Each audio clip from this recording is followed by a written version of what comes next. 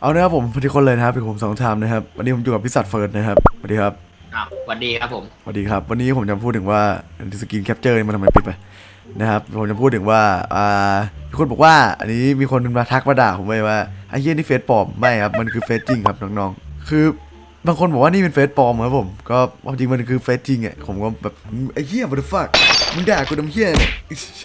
อารมณ์มันประมาณอย่างเงี้ยใช่ไหมเฟิร์ส ใช่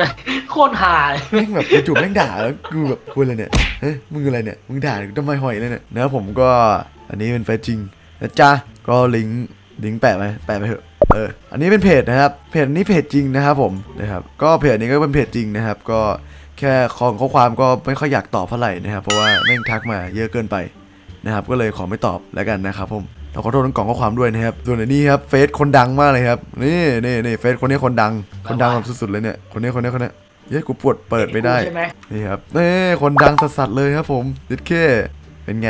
คนนี้ของน้องครับฝากไปกดติดตามคนนี้ด้วยนะครับ แล้วก็ติดตามผมด้วยนะครับ แล้วก็ส่งกด แล้วเวลาเราส่งเราส่งข้อความหาท่านทุสินนะครับพี่เฟิร์สแล้วบอกว่าพี่เฟิร์สครับพี่เฟิร์สครับ เล่นไมค์ครับหน่อยครับ นี่น้องพิมพ์ตามผมเลยนะครับ อย่างนี้เลยนะครับได้ โอเคครับผม ขอให้ทุกคนทำตาม